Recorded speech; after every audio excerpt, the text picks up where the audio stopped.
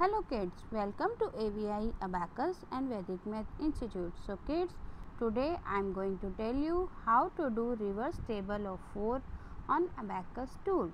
So as we have 40 on tool to minus 4 minus 10 plus 6 again minus 4 plus 1 minus 5 again minus 4 minus 10 plus 6 again minus 4 plus 1 minus 5 again minus 4 directly.